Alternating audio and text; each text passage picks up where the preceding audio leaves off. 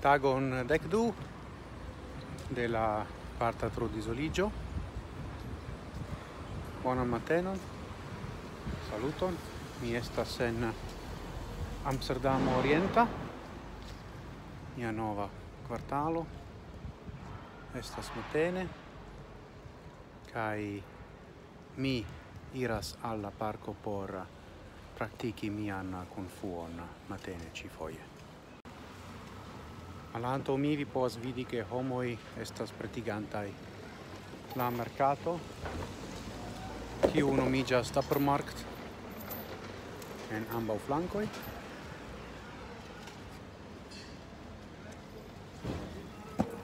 kai ja, mi iras al parko.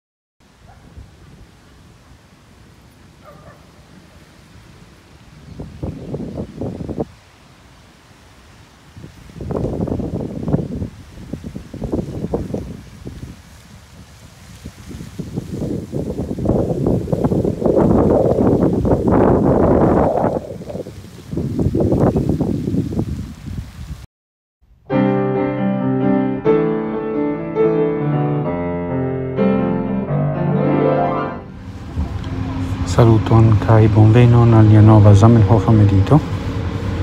Mi estas en traino kai estas iom stranga momento.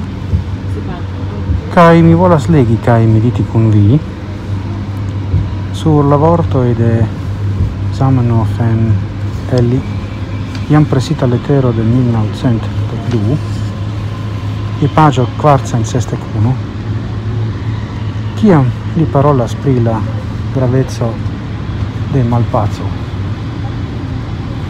Kaj pazzo. Do malpazzo ne estas milito ciu? Vi vidas sekve, scriva Zamenhof, che cion, cio povas esti utila por mia fero, oni povas tre bone atingi in maniero tranquilla, cae tute nestas necesse semi constantan malpazzon cae per ciui i paralisi cian vivon, cae progresson en mia fero. Ŝajnas al mi, ke ĉi tiuj vortoi estas tre gravai, e tre attuali i fatti. Ciao. ne facilas tranquilli, kaj mi maltrankviliĝis en la lasta tagoj kaj tio influis malopportune la rilato con caruloi kai tio riskas paralizi la vivon.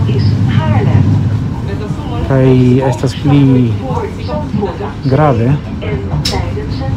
lasi la vivon flui ne paralizi tion ol pravi e cio e cio costo kai do